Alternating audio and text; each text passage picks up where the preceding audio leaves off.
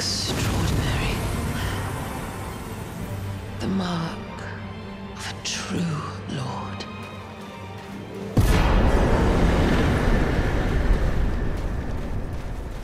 Oh, dear Miquella. Oh, dearest Miquella. My brother. I'm sorry. I finally met my match.